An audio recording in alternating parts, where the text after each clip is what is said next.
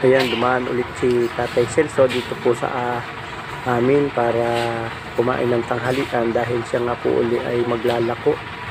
Yan ang kanyang mga paninda. Ang dala niya ay papaya at saka niyog. Eh, hindi pa siya kumain. Ang layo ko ng kanyang nilalakad kaya dumaan muna siya dito para kumain ng tanghalian. Pupunta na tatay. Hmm. Tada kayo mamaya.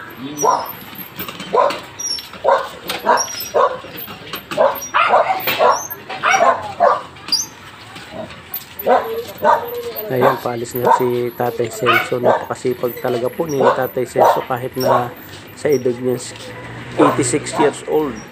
Ang layo ng kanyang nilalakad para makapagtinda at kumita. Okay na po uli yung karito na aking ginawa para sa kanya.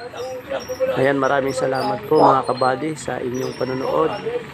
At God bless everyone. Mabuhay po tayong lahat.